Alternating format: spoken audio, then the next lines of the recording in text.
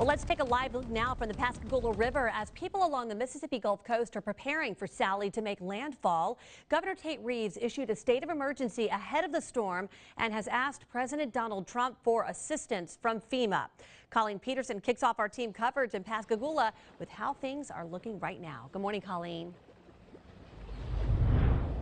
Good morning, Devin. Water levels rising well ahead of Sally. Just 40 minutes ago, it was high tide. Check out how far the water levels have already reached. This is indicated by the sticks and beach debris that was brought on shore. Now, this is Beach Boulevard right now. Also, seeing some marine life being churned up from the Gulf. This is a jellyfish that was walked on shore. So if you're heading out to the beach or walking along to check out these sites, uh, just watch out because marine life is being washed up offshore and even in the inland communities, you never know what could be hiding in the floodwaters. But looking offshore, the water levels are actually pretty, uh, it's high. That's because of the storm surge, even though the waves aren't really rocking. Again, a little under 24 hours away from Sally, just nearing the Mississippi and Louisiana coast. It is a possibility of seeing a landfall here along the Mississippi Sound. So over the next few hours, make your preparations and heading towards the evening. That's when we can start to see the gusting conditions. Right now, about 10 to 15 mile per hour sustained winds